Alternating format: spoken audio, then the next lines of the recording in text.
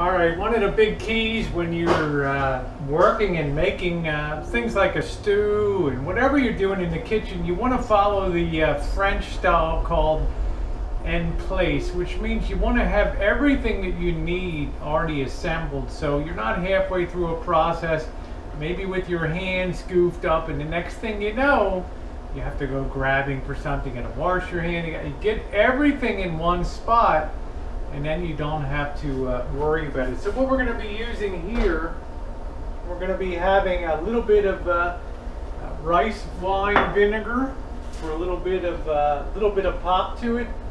We're going to have, let's see, we don't use regular salt anymore. We use sea salt because our regular salt has silica in it, which is a caking agent. that's like ground glass, and I don't want to be um, eating ground glass. So thank you, uh, Aaron in SoCal, for bringing that to Uncle Aaron that is here to help. Thank you for bringing that to my attention. And I have General Italian seasonings here. I'm going to put that out there. Okay. And I think I've got some uh, little bit of uh, basil for a little bit of extra pop. Here's our sea salt here. We're going to have that. Okay going ahead and just doing the whole uh, whole assemblage here. We're going to need some extra virgin olive oil. I like Star brand. It's our local. I don't know what's in your market. I've got a little bit of basil here, basil leaves, a little extra pop. And we're actually growing basil this year on the uh, rancho. And I've got, of extra oregano leaves and it. You can save a lot of money, and here's a good tip for you guys. You can save a lot of money if you go to a restaurant supply place and you get these uh, you get these larger containers of seasoning, and these are about five dollars in restaurant size, and you're going to pay about two thirds of that in a uh, supermarket for like one tenth of it. So uh, be smart, or as they say in Hawaii be akamai, okay? Be smart when you go out there. So that's uh, basically our spice assemblage. I need to go grab uh, some tomato paste. Be right back. Well, I'm so used to having it out there when we had to take it out to the washer dryer. Now it's back in the pantry again. So let me grab that.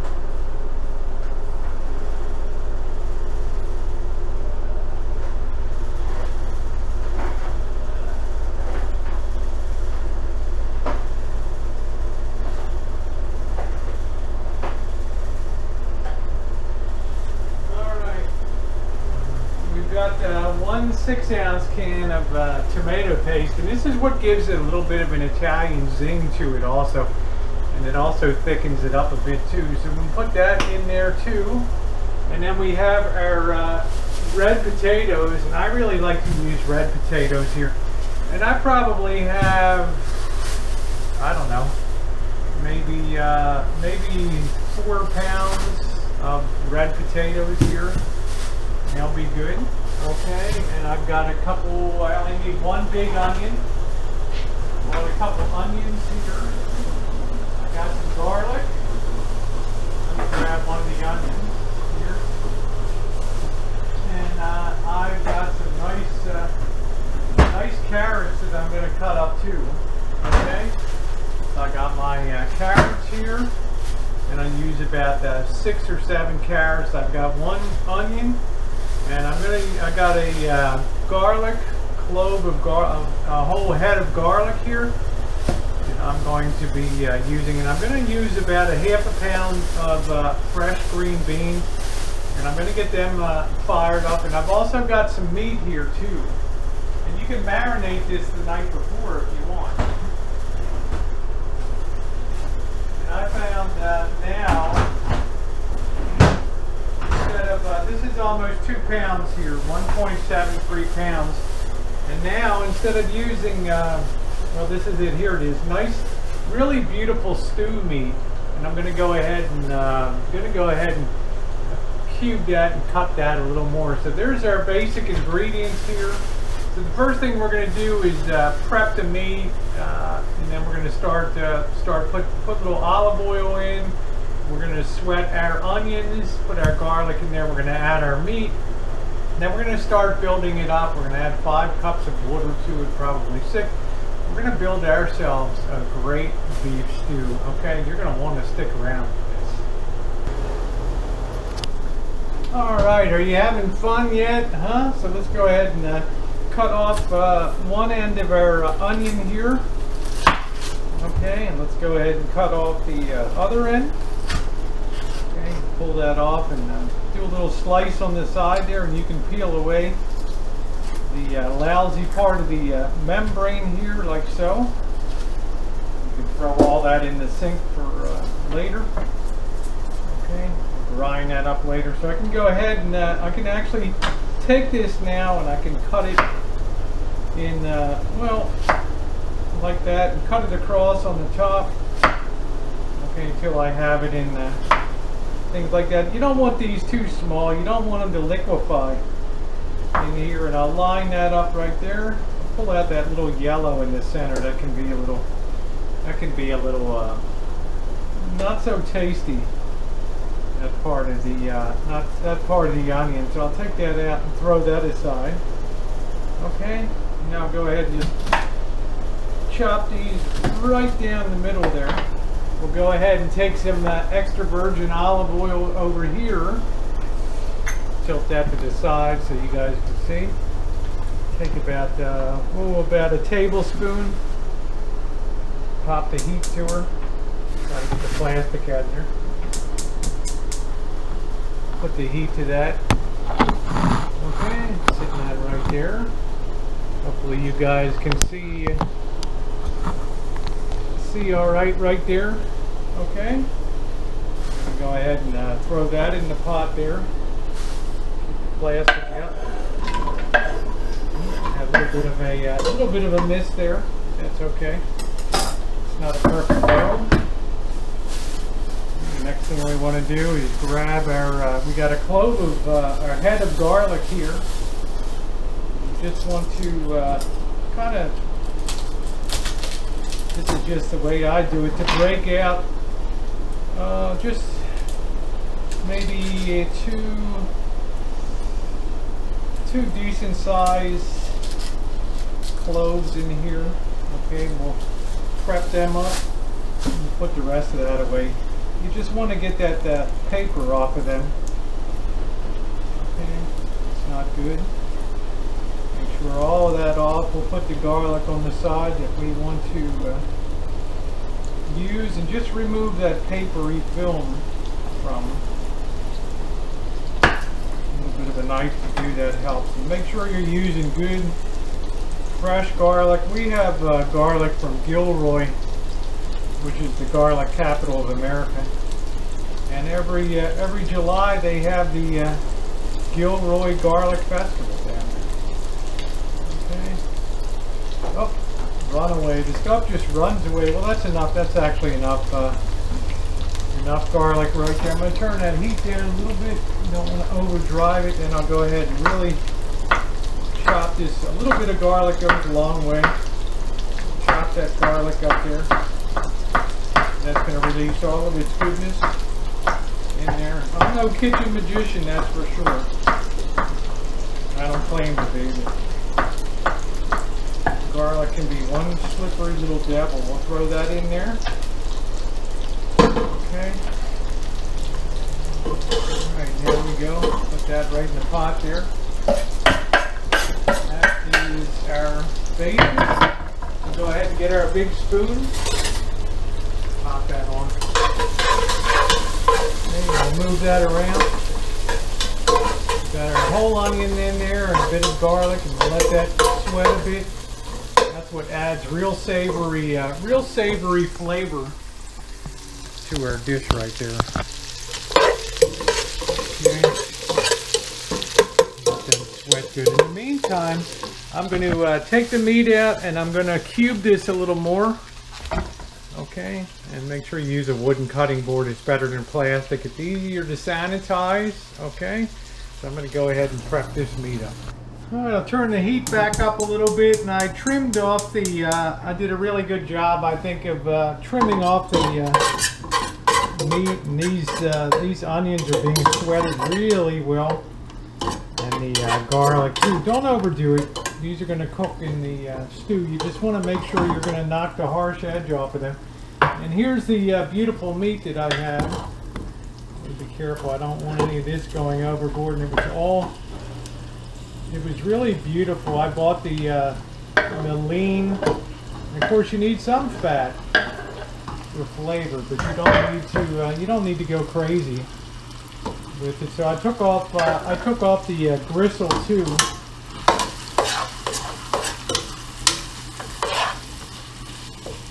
Stir that around.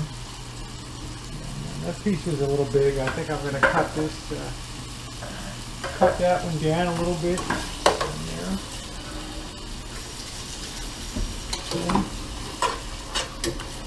Pop that in there. That looks good. I'm going to go ahead. Uh, I'd like to add my uh, I'd like to add my spices early on. Okay, and this is a this is a nice zingy stew here. I'm going to add uh, one nice uh, one nice uh, rounded tablespoon of Italian seasoning. I'm going to add one uh, level teaspoon, teaspoon of oregano there. Oh, you just cannot believe the uh, smell here. A bit of a shake of uh, basil on there. Okay, we're going to add uh,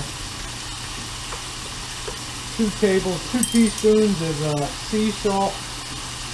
Okay, and this is going to be a little harder to uh, pour because it doesn't have the anti-caking agent that like a regular table salt has. So I'm going to kind of pour that over here.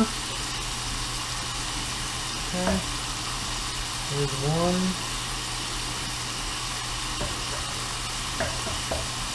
And here comes number two. I'm going to keep stirring.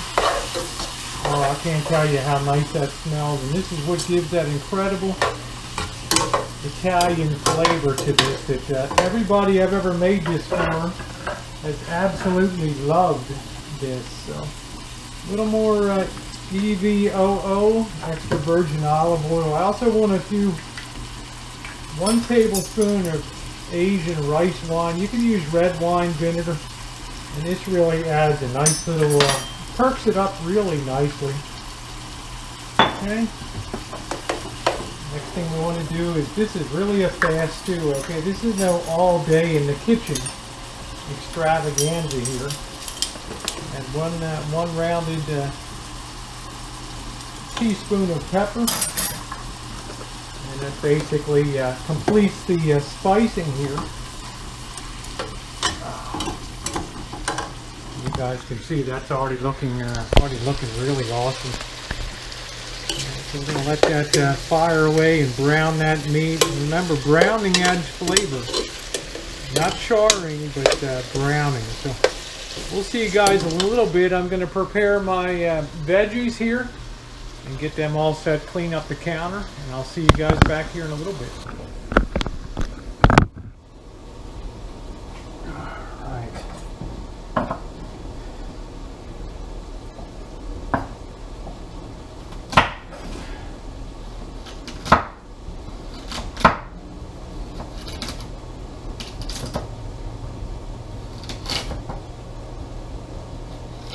Nice pieces of carrot, not too thick, not too thin. The higher you go up the, uh, the lower you go towards the base, you want the thinner cuts to be so it keeps the cooking time about, uh, about uniform, okay? I think that's going to do the trick for that. That looks pretty good. There's our, uh, there's our carrots there. We'll pop them in the bowl.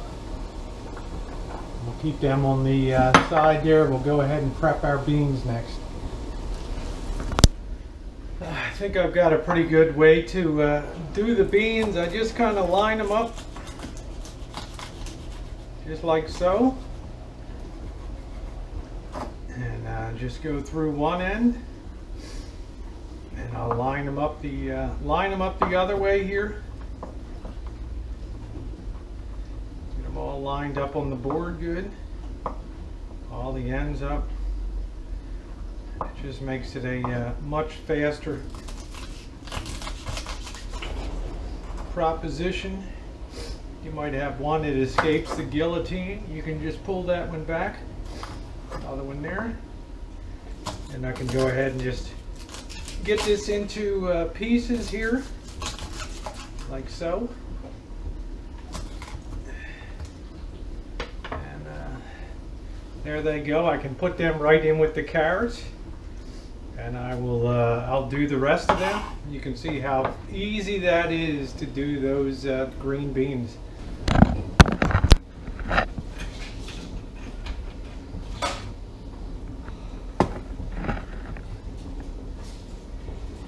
All right, welcome back, uh, welcome back, Missy Jen. Recording, and the potatoes are real easy. I'll just chunk these, make sure to wash them first. Namaste. Chunk them into uh, pieces like that, so they're kind of, uh, kind of bite-sized. Hello, honey. Namaste. Everything okay at the store? Yes, There uh, you go. standing in All right, line. just like, uh, just like so there. So, uh, trick is you want everything kind of the same size of the uh, same vegetable. You don't want to be overcooking your uh, stew.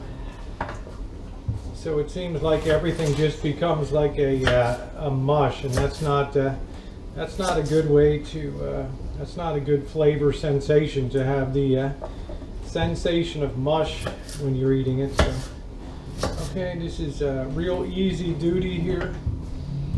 This will be done in no time. A really big one, you just will want to quarter that, and then like uh, like so. If it's too big, just come back and uh, cut on it a little bit. It makes it real easy. Go ahead and add these right into the pot right now to give myself a little more room. Okay, just gonna make it really nice here. Give me a little more room. So I'll go ahead and uh, finish doing the uh, potatoes. And I'll see you guys back here in a little bit when we add our uh, add our uh, tomato paste to it and our water and start bringing it up here. So see you in a little bit. All right, so we got all of our, uh, go take a look there, Missy Jen. Give them a good look down in the uh, pot there. We've got our uh, veggies all in there with our meat. We're gonna now go ahead and add our secret ingredient, which is the uh, tomato paste. And what do you think, Missy Jen? This makes a uh, really well fired up.